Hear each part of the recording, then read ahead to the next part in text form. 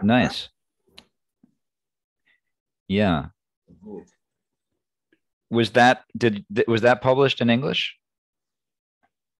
It was, I wrote uh, even a book in Russian. And Wow. I never translated because at that time Soviet Union was kind of closed society. And when I came here, I switched completely to edit vortex dynamics in Mm. situations. Did you come to the states right after your your your PhD? I come to the state till 15 years later. Mm. It was 95.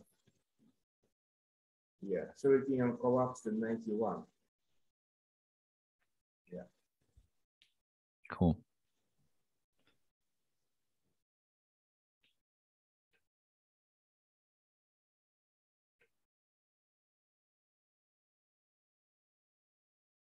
At GSO, we have a nice uh, PO community, physical oceanography. Actually, Uh, Melvin Stern was at GSO at, uh, before me. Yeah. Yeah. He left, they kind of let me stay. So did you arrive at the same time as Tom? It was Tom Rossby was around that that time, Tom right? Ross, we all uh, here, uh, the, yeah, all the time. Randy Watts also doing great job. Randy, yeah, yeah. Te- Te- Tetsu Hara was there too. That's there. Isaac Ginis now become famous in uh, hurricane studies Ah. in ocean of the ocean. Yeah, We started with, together with him in a yeah, union, even published a couple papers. Yeah. I, I visited URI years ago after my PhD and remember giving a talk there. Right, yeah. Uh-huh. I met. I, I think that was where I met Paula um, Perez Brunius. She was she was doing her PhD at the time with uh, with Tom, if I'm not mistaken. Uh-huh. Oh yeah, sure, good.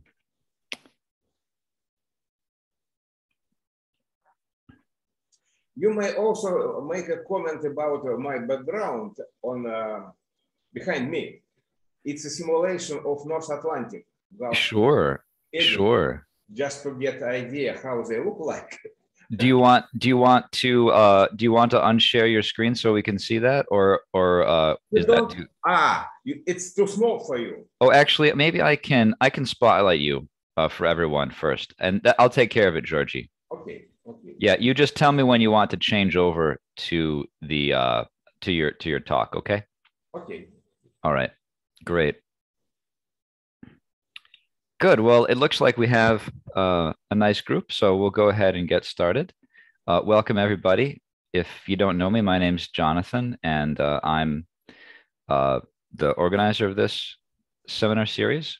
Just a couple of logistical announcements. Um, I'm going to put in the links uh, in the chat, rather, some links for you to the homepage, and there's a YouTube playlist for past seminars in this series and uh, um, also there's some calendar events if you want to put the upcoming ones in your calendar.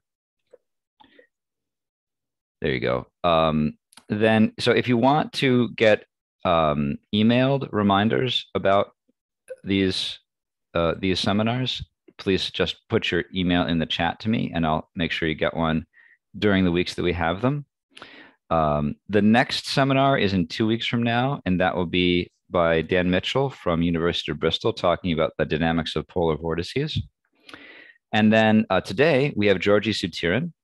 Um, I'm just gonna spotlight him here so you can you can see him. Yeah. Hi, everybody. This is Georgi. So Georgi got his PhD in um, 1974 from Moscow State University in fluid dynamics, and he's been at University of Rhode Island uh, since about 25 years now as a senior researcher. He's talking to us um, today about how geophysical vortices can be super long lived. So go ahead, take it away, Georgi. Ah, okay. Thank you, Jonathan. So, um, do you hear me well? Just- Yes, we hear hearing you just fine. Okay. Um, so today I am really mm, uh, appreciate the chance to uh, have discussions about um, geophysical vortices in a rotating and stratified fluid. Their uh, longevity in the ocean and Jupiter are really, really amazing. And uh, the major factor which affect uh, geophysical vortices is a beta effect, which you can uh, see the schematic here. It's a vertical component of um, Coriolis uh, force depend on the, the latitude and it changes increasing towards the pole. So this cause a new type of wave, Rossby wave, what scale, and the, the um, dynamics uh, define uh, most of the weather, weather patterns. So um, the major talk uh, will be about two-layer um, beta effect model setup. But before going uh, there, I would like to tell you a historical review of what was done on um, F-plane, the no beta effect. And um, in a single active layer, which is called one and a half layer model. And uh, uh, first, let's look um, at the nature. Uh, you see the global circulation on Jupiter is dominated by zonal, zonal jets. And um, the major vortices like Great Red Spot are located in a um, favorable uh, shear, in this case, anticyclonic shear. The next little red spot is located to the next shear zone. And also you see lots of other details and um, smaller scale structures there is nothing like this in the ocean because the continents uh, block zonal current, no, except Drake Passage, which, which is uh, not really a big deal. And uh, the major circulation in the ocean uh, generated by wind and uh, differential heating uh, represent um, eastward currents in the mid latitude, high latitude, and the westward current in um, sub subtropics, uh, return current. So this global uh, circulation cells present in all oceans. And um, the um, vortices are now uh, can be seen in any uh, place of the ocean.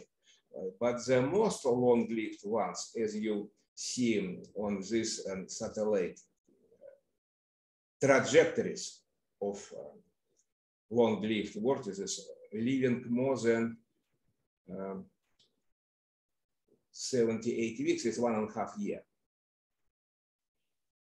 There are lots of them. You see a little bit more of it's for 16 years, this uh, total.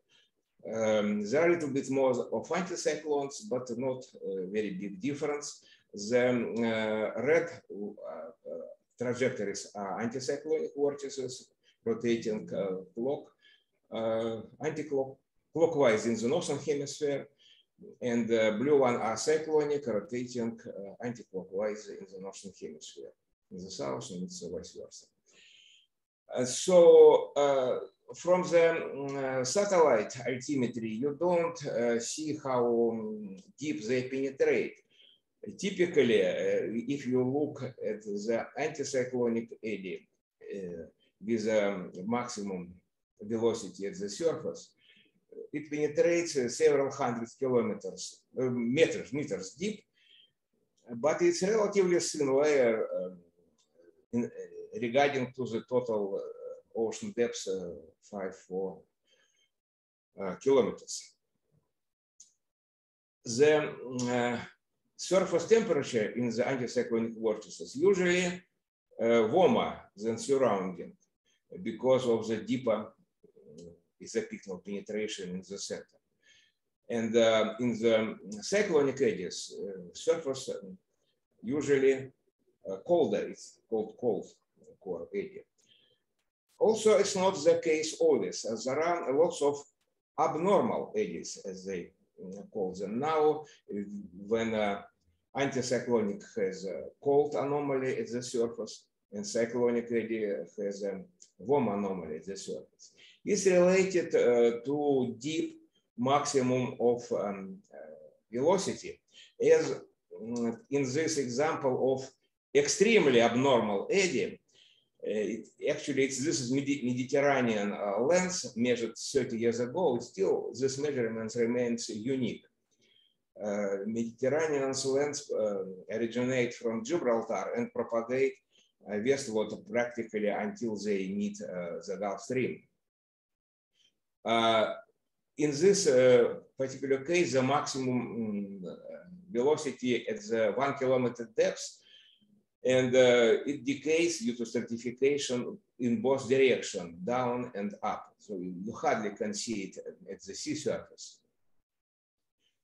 And uh, uh, generally, uh, such a structure of rotating stratified vortices indicated the possibility to use two-layer model, which it's still uh, pretty common in spite of all high resolution, multi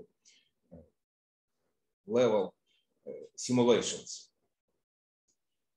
And ah, one more, this picture um, show you the trajectory and shape, which is not circular, of the most long-lived uh, examples uh, for now, as I know. It's um, anticyclonic vortex propagate from West Australia toward Madagascar for five years. It has substantial uh, equator drift, but it uh, which uh, normally should uh, relate uh, should be related should, should result in a vortex decay, and we will be talking why it's not the case here. Another example is a cyclonic eddy from Canary Island towards the Gulf Stream, which, which almost five years, four, four and a half. Probably there are more um, longer examples, I'm just not, not know. Another important point that uh, vortices size uh, is along the dashed lines here is uh, essentially larger, let's say two, three times larger than the radius of deformation, a dashed, dashed line and which both of them increases toward equator because of Coriolis parameter mm, decreases. So that's uh, the nature. And uh, what we can say from uh, simple theoretical considerations. In two-layer approximation, we have interface separating fluid of different density, is gravity uh, reduced gravity, usually it's a, a few percent of uh, full gravity force. The difference is small in the ocean. And the uh, dynamics is um, described by conservation of momentum and mass in each, in each layer. This uh, system uh, includes two type of motion. Gravity wave, which propagates with a velocity proportional to square root of gravity, reduced gravity in the upper layer depth. And uh, Rossby waves, uh, which arise due to the beta effect uh, variation of Coriolis parameter with latitude. They have quite different time scale and um, it's um, common to filter out uh, gravity waves to leave only Rossby waves in the system. And it can be done in a simple way by expanding uh, momentum equations in Rossby number, which is a ratio of relative vorticity to the Coriolis parameter. If you keep two orders of um, in this expansion and insert the um, expression into the mass balance equation, you immediately arrive to kind of general geostrophic model where only two um, pressures remain uh, prognostic. And uh, uh, it looks very similar to traditional quasi-geostrophic equation. Um, this Jacobian between Bernoulli function and potential thickness, which is inverse potential vorticity, the major cause of, of, the, of the vortex evolution. Quasi-geostrophy, if you uh, expand further potential thickness, uh, assuming the stretching term is also weakly disturbed, not only the um, local vorticity. And uh, you will get this usual form. It is uh, useful to use uh, potential thickness in some situation, but it's the same as potential vorticity, just inverse. This uh, system of uh, two-layer equations include uh, several intrinsic parameters. The most important of them is the radius of deformation, very well known, and the um, beta radius uh, related to the radius of the planet. Actually, it's uh, multiplied by tangents of uh, latitude. The ratio is a uh, important parameter of the system. It's usually, not usually, in the Jupiter and the, in the ocean, they are small, few, few percent. While in the uh, Earth atmosphere, it's like 1,000 to 6,000, about 1,6, 1,7. It's not really small. That's why we don't have a long lift patterns in the, in the Earth atmosphere but Ocean and Jupiter are similar in this, in this sense. Other parameter is the ratio of vertical scales, um, depth ratio. It's also pretty small for ocean. Dynamics, uh, when essential vortex rotation happens in a thin layer of few hundred meters.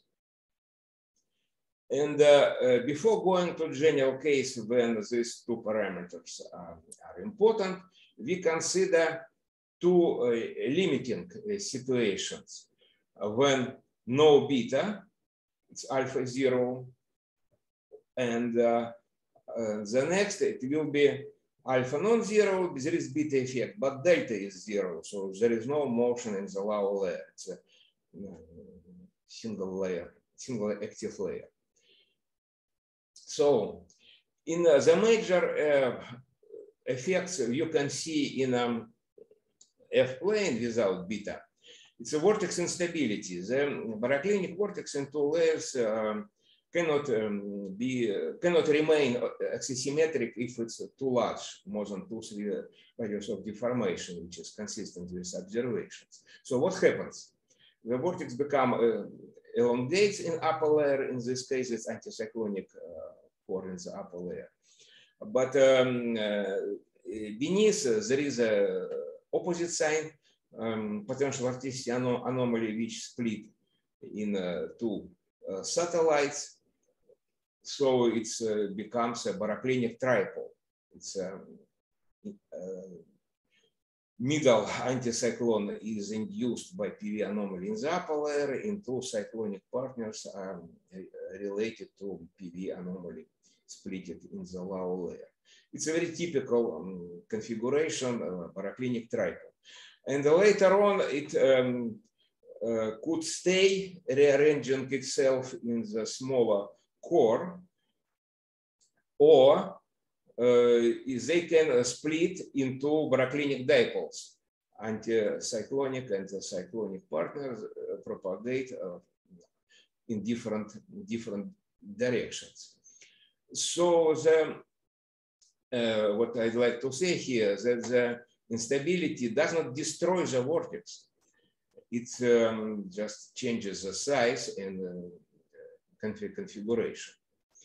And the, another interesting um, aspect of vortex splitting uh, that um, it was numerically simulated in the multi-layer model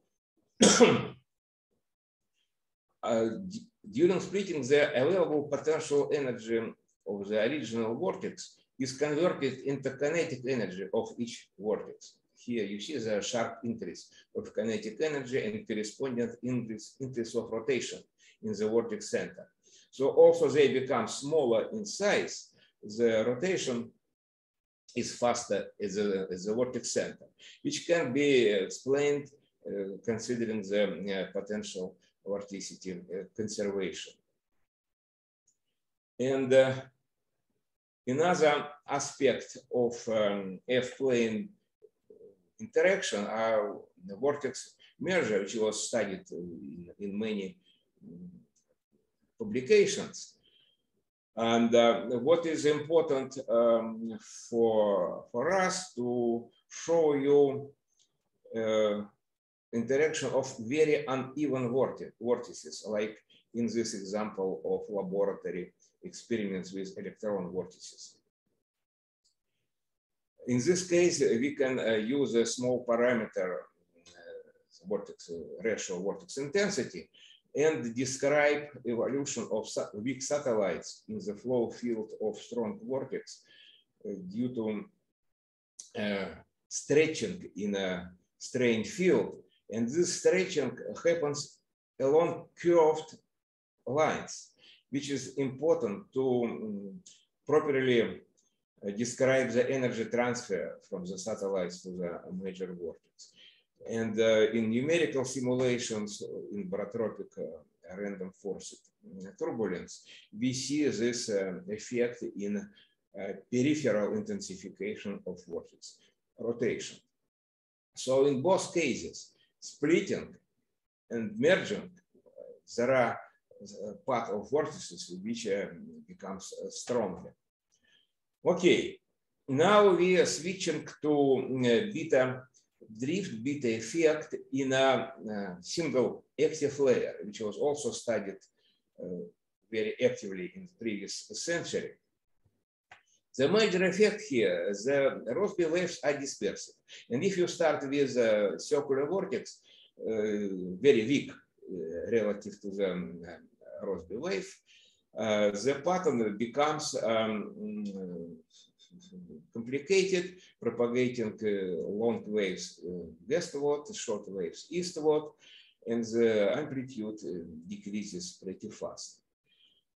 Uh, however, if the intensity of vortex, I mean, the orbital velocity is comparable or larger essentially than the Rossby wave speed, then the vortex remain uh, coherent uh, for a long time but um, it now uh, its center drift also meridionally, not only zonally. And the vortex um, decay now is defined uh, uh, by the initial PV anomaly in the vortex center. It um, decreases due to uh, beta y because a, uh, total anomaly plus beta y conserved. If beta y increases, then the anomaly decreases in the case of uh, cyclonic vortex. It is important to understand that uh, the closer the lines of PV in the vortex center um, indicate um, the, the transport, uh, which can be characterized by uh, stream function in moving the reference frame also at instant, it's not accurate, but still you see closed as lines, which indi indicative of transporting fluid inside, inside them. So uh, due to uh, beta effect, uh, the vortices are able to propagate meridionally and transfer uh, fluid inside. The theory for, uh, for this um, meridional drift uh, was developed based on the another extreme uh, very strong vortex, then beta effect is small. Then you can linearize equations around the strong vortex and uh, compare the solution with numerical uh, simulations, we show pretty good correspondence uh, between, between them. This is a quasi-geostrophy theory which does not distinguish um, anticyclonic and cyclonic behavior except the direction of meridional drift, cyclone drift poleward, anticyclone drift um, with the same speed uh, as uh, southward or quaterward as in this example. Uh, it is an interesting story happened uh, 40 years ago that um, in four different uh, uh, places, people realize that if the uh, size of the vortex uh, significantly larger than the radius of deformation, then uh, dynamics of cyclonic and anticyclonic vortices become different. There is a um, quadratic nonlinearity related to increasing depth in the anticyclone, in contrast to decreasing depth in uh, cyclonic vortices in the same fashion like in KDV solitons. Such radially symmetric uh, structures were first uh, called anticyclonic Rossby solitons. However, as we realized um, eventually, uh, they differ significantly from uh, two one-dimensional KDV solitons in terms of um, trapping fluid and transferring uh, with them during uh, steady westward shift. And um, such uh, solitary eddies, I would say, uh, interact inelastically, they merge when uh, they come together. And moreover, this uh, originally found universal shape of radially symmetric vortices was uh, shown uh, is not unique. They are almost axisymmetric. They are not really axisymmetric. They include uh, may include uh, practically difficult to distinguish and dipolar component. And in that sense, they are not attractors you, the final stage depend on, on initial stage. In the same 86 year, it was interesting to see um, uh, paper about merger of um, anticyclonic eddies in uh, the German atmosphere. Uh, and the author mentioned the, well, they also don't, they merge. It's an old story, seemingly. Nevertheless, this kind of um, one uh, layer model is um, still used. Recently, just examples of two um, studies in um, strong shear, which is uh, characteristic for, for Jupiter. One, this paper consider uh, usual one and a half layer model at the F plane where vortices come back to the uh, position in the shear where uh, velocity is zero, the central position of the in the in the shear, which explain why most of the observed vortices on Jupiter are in, in the center of cooperative shear. And um, the mechanism uh, for this uh, position is um, related to the same beta drift as described for, for QG mm, beta, beta plane. So uh, another example uh, a strong uh, eddies in the strong shear was uh, recently published by this group.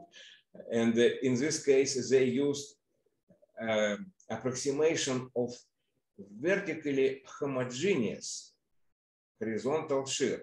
So the uh, deep layer was not motionless, but the shear was, uh, horizontal shear was penetrating in, in deep layer. And such model they called one and three quarter layer. Uh, practically any vortex can be adjusted to prescribed shear. So mm, it looks like um, horizontal shear in, in, Jupiter is an important factor for longevity of observed vortices. Now we are uh, switching to uh, full two-layer uh, configuration, which is um, characteristic uh, for ocean models. And here I show you mm, the typical meridional section of isopycnals, it's lines of constant density, where you can see uh, that in high uh, latitudes, the potential vorticity in deep layers become negative because of the slope um, the deep layer. And the Antarctic circumpolar current and the Gulf Stream extension become um, baroclinically unstable because of this. It's eastward propagating currents. On the other hand, in subtropical region, the um, slope uh, become up toward the equator. And in this configuration, the deep part um, of the ocean has the same PV gradient as beta, but the upper part has may have negative gradient, which also cause baroclinic instability. And we consider uh, this case, which was actually rarely studied before. If we look at uh, upper layer uh, potential vorticity, it um, in this configuration of negative gradient, you can see that the initial uh, perturbation of cyclonic PV in this case become uh, larger as a as anomaly if the vortex uh, uh, moves forward. In contrast to usual uh, two-layer dynamic without shear, where the beta effect and uh, uh, requires positive gradient of potential vorticity, so the cyclonic anomaly decreases moving forward, as I mentioned in one and half layer models. Basically the same. The, the um, deep layer just enhance this, uh, this decay in two layer system. So it's uh, interesting to consider the marginally stable situation when the PV in the upper layer is constant. In this uh, case, uh, the anomaly can move meridionally without changing intensity. And uh, such a, a, solution, again, was described in a two-layer system where um, modified by uh, velocity in upper and lower layer. In this case, uh, we have vertical shear and uh, uh, horizontally homogeneous uh, velocity. It's quite opposite to, to, to Jupiter's situation. So considering that in this, uh, the bit effect, effective bit effect in each layer are, are different now due to mm, sloping isopycnal. And uh, when um, the uh, beta in upper layer is zero, we can uh, consider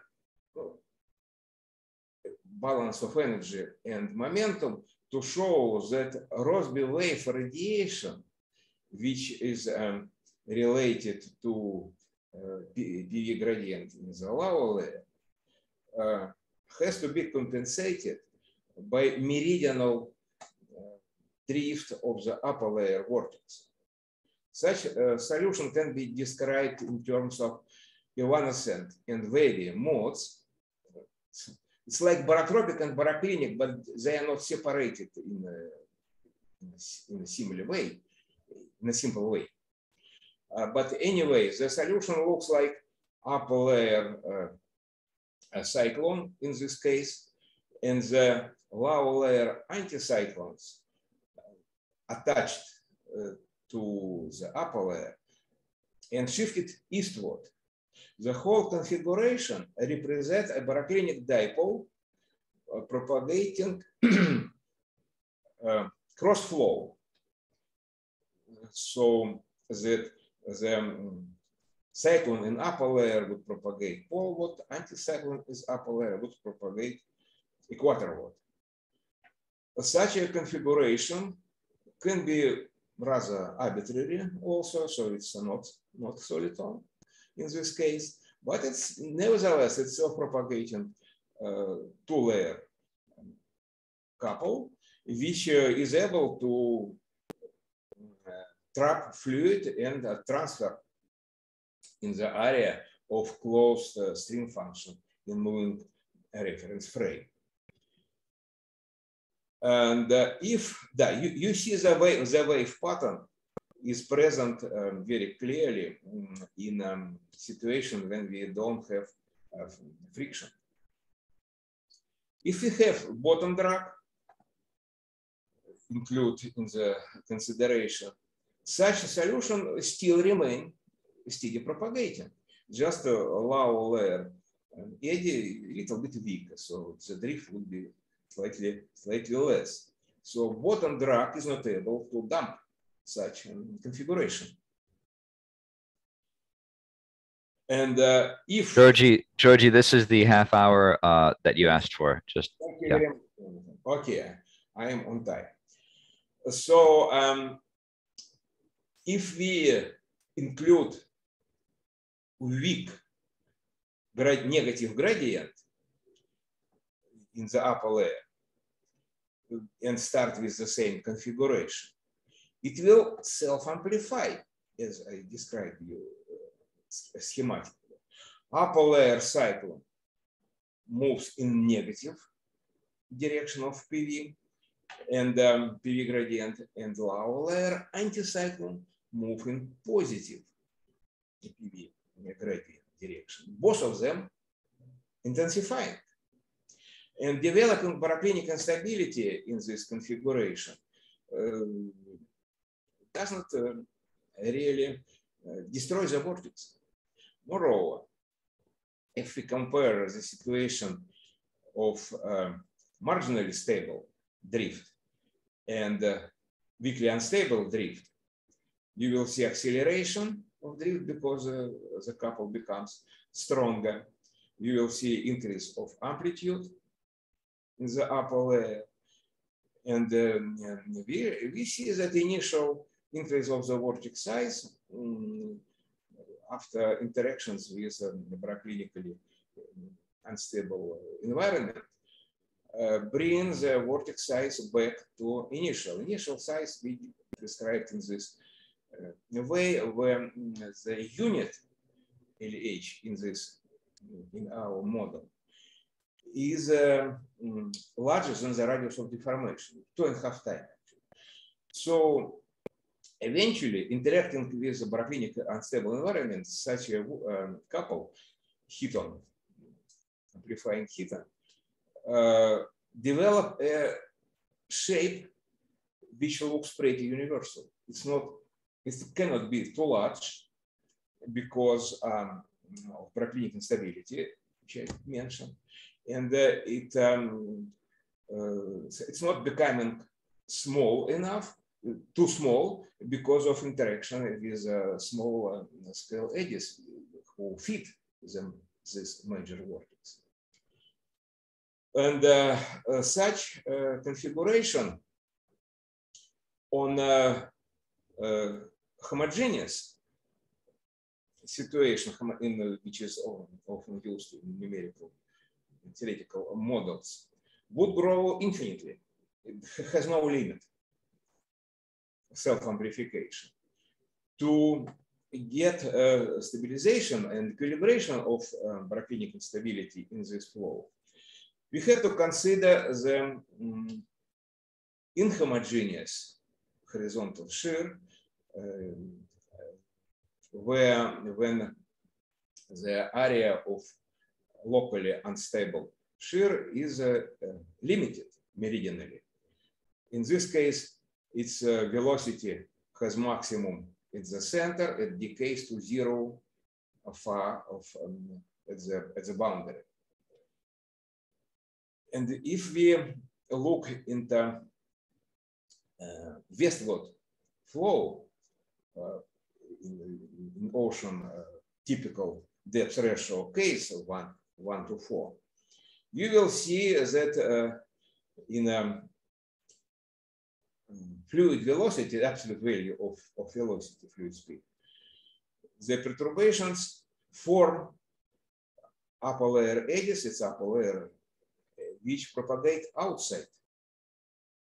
And uh, in um, potential vorticity field, if you compare uh, them, this area, for example, with a deep pattern, you see the same configuration, cyclonic PV anomaly and anticyclonic uh, rotation in the deeper. And they travel together in a similar fashion as we get a marginally stable flow.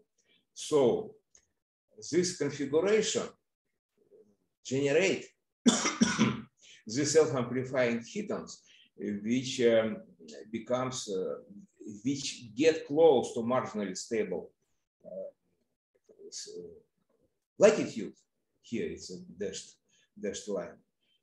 And um, we can say that uh, the solution we found uh, looks like attractors in a baroclinic uh, turbulence. We don't see similar behavior for the, for, for the moment for um, Eastern propagating flow in this direction. It's the same. Here, Western direction was this way. This is a Eastern was the same direction. Same meridional profile of velocity.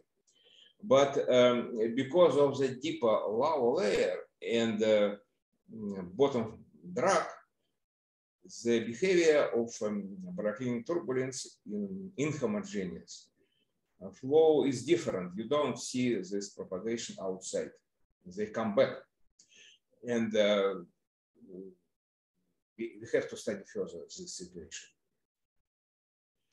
Typical trajectory in the um, westward flow is um, persistent uh, meridional drift for cyclonic vortices uh, poleward.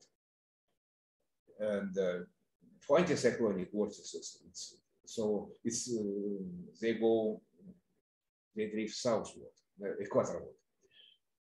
Actually, which correspond well to derivation trajectory, which I shown in the beginning. So we believe that this um, recently found uh, solutions for baroclinic, self-propagating, cross-flow propagating structure. It's the first time we found cross-flow propagating solutions play important role in, in the ocean dynamics. And uh, it is a vertical shear in this case, which support the energy. They generate Rossby waves and uh, get compensated during meridional drift in, vertically sheared sheared flow. So, um, summarizing these um, different aspects of vortex dynamics, I would like to emphasize that in baroclinic fluid, splitting increases central rotation while stretching at the periphery increases peripheral rotation. In both cases, some, somewhere, uh, somewhere vortex becomes stronger. It's interesting feature of baroclinic vortices. And uh, in terms of longevity, it looks like vertical shear is really important for ocean eddies, horizontal shear for Jupiter. And we have lots of further questions. After 50 years of study, still, still lots of open questions. And in particular, this example of um, observations in color related probably to uh, phytoplankton. And is a spiral, interesting spiral structure. Just another exciting example to study this further. So I would be glad to answer your questions. Thanks to everybody. Thanks very much, Georgi, for that great uh, and inspiring tour through uh, recent results in vortex dynamics. Let's hear some questions.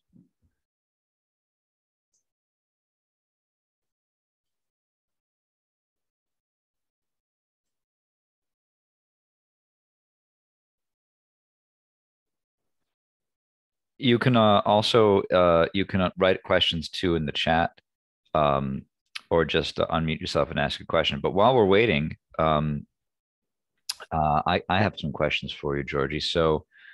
Um, one one question was about you showed this these really cool simulations of uh, vortices being sheared out on the periphery of a larger vortex, and this this led to kind of a um, yeah yeah. So you know this this really matches my intuition from looking at uh, real world observations of vortices where you don't often you, you often see a, like almost a plateau of uh, the uh, velocity, for example, rather than something that has a nice clean maximum and then a decay. Um, so so this is happening because you're you're it's it's not really a merger because you're destroying the partner a- as you wrap it up, right? Yes, it's stretching out. Actually, when you uh, have interaction of two uneven vortices, there are four options. Complete merger, partial merger, partial stretching out, and complete stretching out. So it, it's, it's a case of complete stretching out when it's possible to do simple analytical solution. And the problem is still uh, has to be investigated further in this case, the identity of the stretched out vortex is completely destroyed, unlike a merger where you say there it's kind of a combination of the two, right?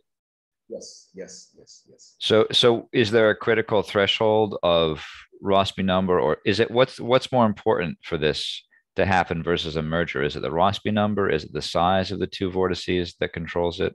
Actually, uh, there is a paper of um, Melander, Zabusky, and probably McWilliams uh, regarding the interaction of uneven vortices. And the title is Who Win? Huh. If you have small and strong vortex and large and weaker, it's not clear who win.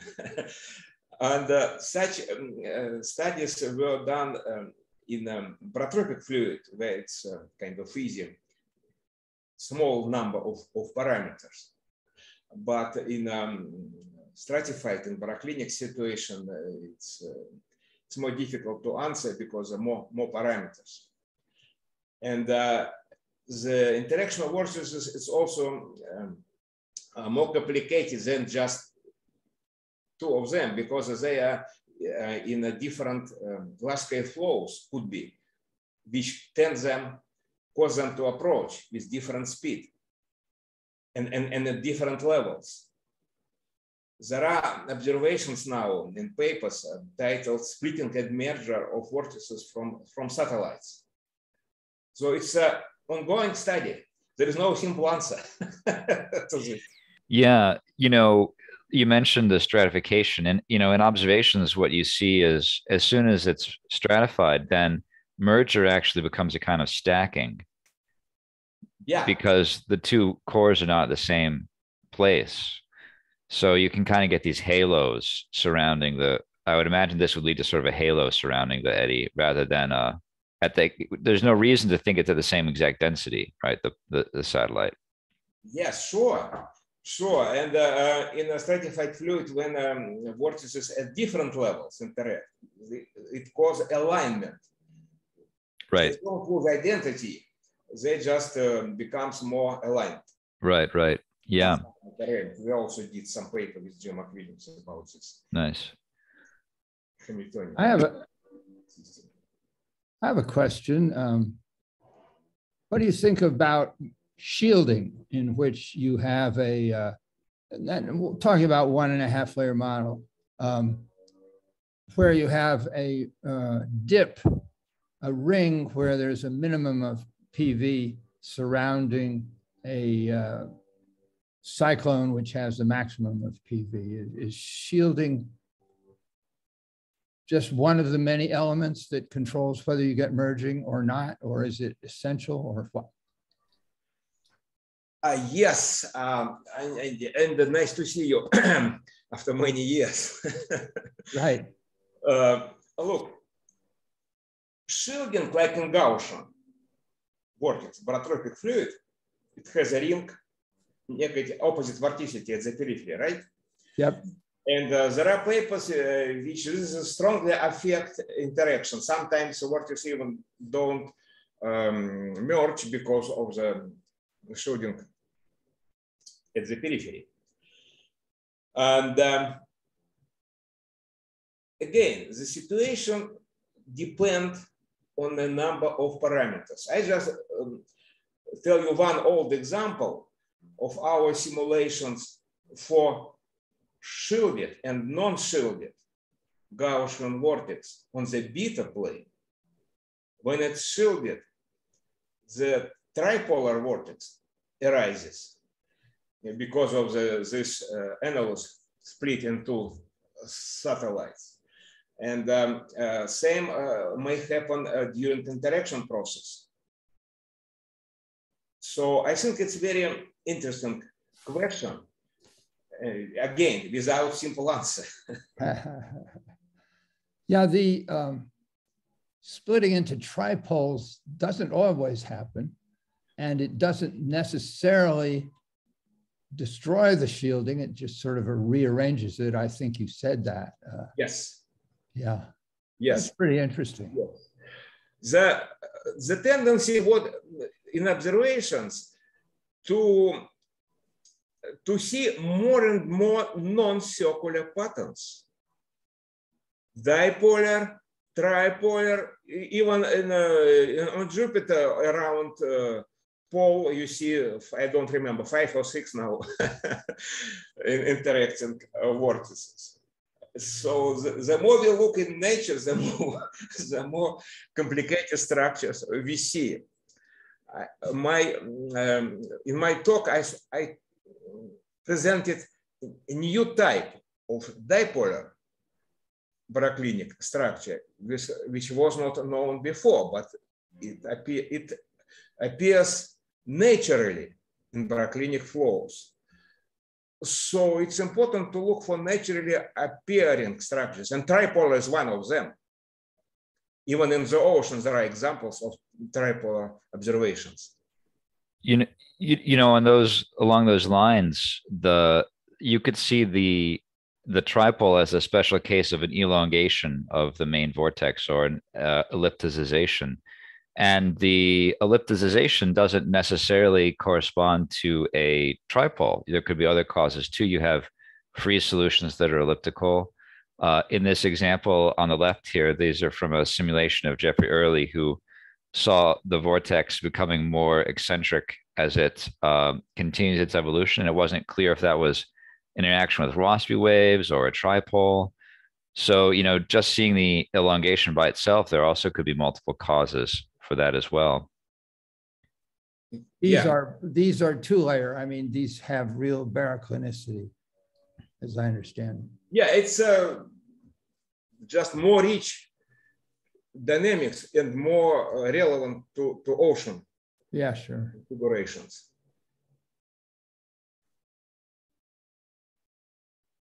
So the one and a half layer model for the ocean just doesn't describe everything. I guess that's no surprise. But still, I was actually amazed. Quite a recent study continues. and uh, in this case, the strong shear, for example, in strong shear, I would not expect satellites of opposite sign would survive. They would be sheared away. The typical structure of, of vortex in shear is monopolar. So probably it's an important effect on, on Jupiter. You, you see animations when some small vortices come approach the great red spot and go around it. they don't stay. Yep. Very good. It's very interesting talk. What if I ask you a question? You, you know better all this Jovian situations. How deep is patterns and shear? Because this, in this case, shear is infinitely deep, but pattern in the upper, uh, weather pattern in shallow model. What's your opinion? What latest data indicate? uh, various people have tried to, in a sort of either quasi-geostrophic one layer uh, or even shallow water, they've tried to estimate a radius of deformation.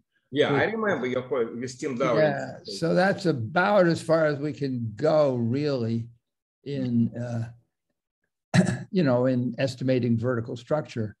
Um, and uh, well, we do have um, evidence with a microwave detector on the Juno spacecraft that uh, the zone, uh, and also it's the gravity uh, signal that the zonal jets go very deep, by which I mean uh, many scale heights. Uh, so um, as far as the zonal flow is concerned, it is it goes many scale heights deep into the yeah. interior.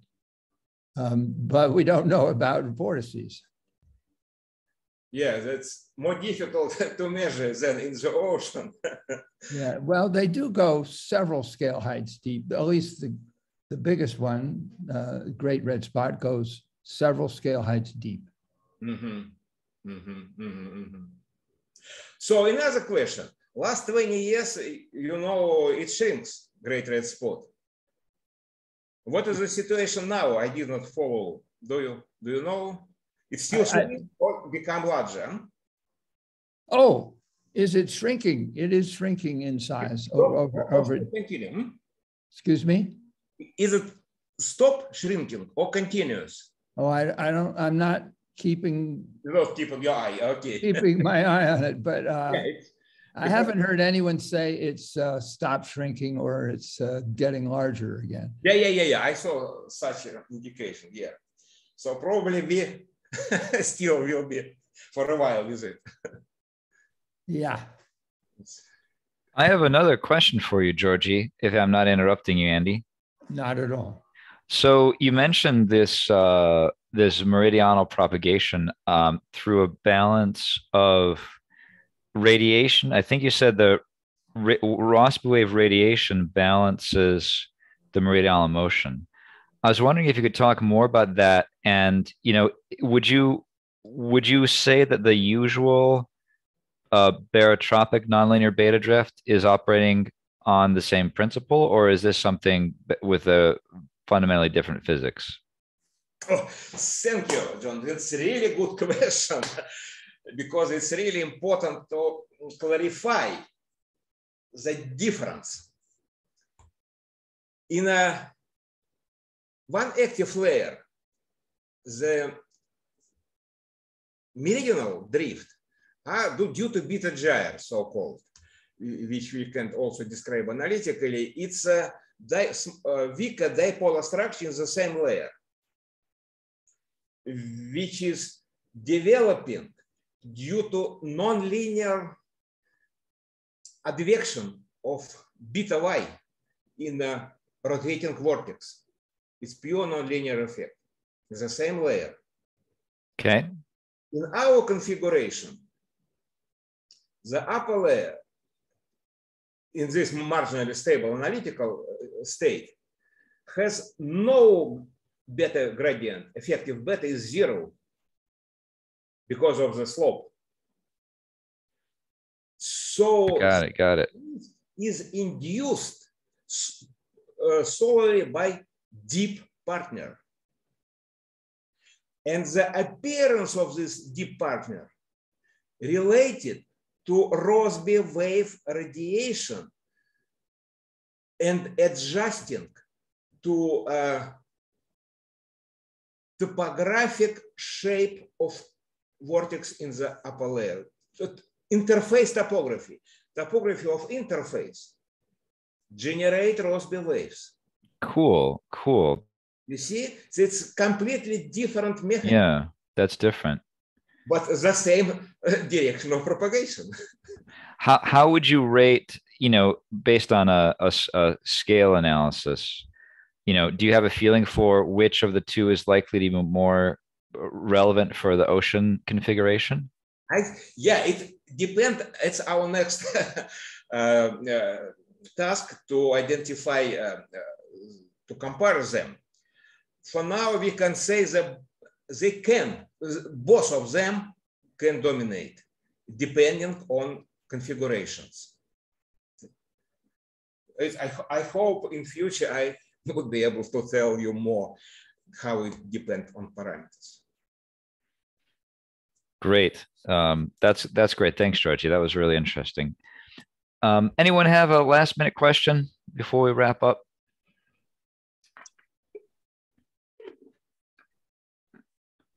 Sure, Peter, go ahead. Uh, I just unmuted. Am I am I uh, audible? Yes, definitely. Oh, hi, uh, Peter Rhines. I, I come up as Peter on the screen. I, I could be a lot of different people, I guess.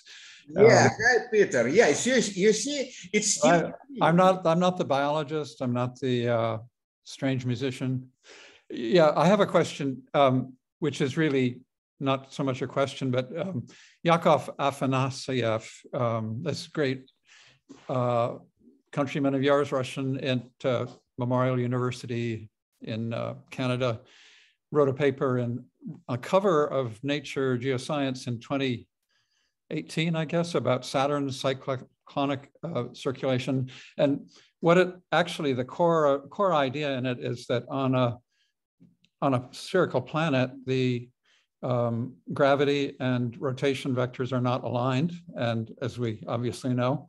And so in a baroclinic uh, framework, you have a, a, convective dynamics, which is trying to uh, rationalize the difference between uh, Coriolis-Taylor column effects along the rotation vector and buoyancy effects along uh, with respect to gravity vector. And that leads to a, according to his experiments, that leads to a, a beta drift of uh, cyclones towards the poles. And uh, I, you know, it's an entirely different mechanism than we normally talk about in barotropic uh, kind of beta plane world. And I wonder if anybody has thought about that. He was writing about Saturn, uh, but I'm, you know, Saturn and Jupiter are both out there doing these strange things. And I have to put in a, a, a slight uh, note here that he, he demonstrated this using the altimetric uh, imaging of a rotating experiment in the lab. Because if you have a rapid rotating fluid with a free surface, uh, parabolic free surface, the effective gravity is not aligned with the effective rotation. And uh, so you get a, a, beta drift, which is uh, convectively driven rather than, uh, rather than the simple vortex mechanism. Let me, George, before you answer, let me just jump in here and say um, that's um, th that's going to lead to a longer conversation. So this is a great time to stop the official recording, so we stay just on time, and invite everyone who would be curious to hang out for a little bit longer and keep chatting about vortices. So, so thanks again, Georgi, and thanks everyone for coming. And uh, feel free to hang out if you'd like to.